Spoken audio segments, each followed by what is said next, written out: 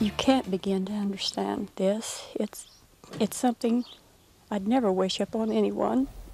Words from a mother searching for her missing daughter nearly 35 years ago. Kelly Ann Workman disappeared in June of 1989. And now charges have been filed against three men. Investigators believe they killed her. Francis Watson joins us in the studio with who's charged and what led to the break in this cold case. Francis? Yeah, Maria Paul Kellyanne Workman was last seen June 30th, 1989. A week later, her body was found in Christian County. Today, 34 years later, these three men who authorities say are responsible went in front of a judge and are in jail tonight. It would have been nice to have gotten this for the family years ago. Kellyanne Workman was last seen June 30th, 1989. She was mowing grass at this cemetery in Douglas County. Roldan Turner was the sheriff back then and recalls the night Kellyanne was reported missing. We got up here, um, lawnmower was still in, in the uh, cemetery, and uh, there was no doubt in my mind at that time, 10 minutes after we got here, that it wasn't good, that something bad had happened to Kelly. Turner says he wasted no time looking for the young woman. We had already started our investigation, and uh, both of the banks, we talked to them a lot and pushed them as hard as we could push them.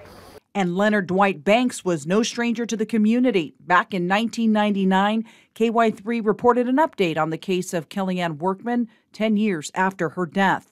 We interviewed one on one with the prime suspect at the time, Banks. What do you want to come out of this? For me to be cleared and for Kellyanne's, for Kellyanne's murderers to be tested and convicted of this. That's what I want. And then what do you think? Where do you go from there if that happens? I'll move away. I've been here the last 10 years, stay here the last 10 years to make sure that, that it's not laid on me as a patsy again.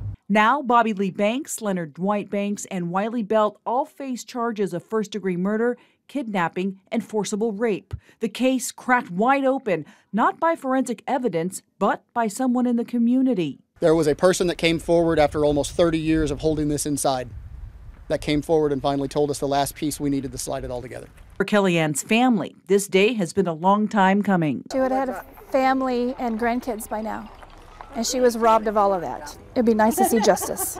Turner says the trio's capture is also bittersweet for law enforcement. At least they're going to get what's coming to them, hopefully, and the family is going to have some relief and some closure.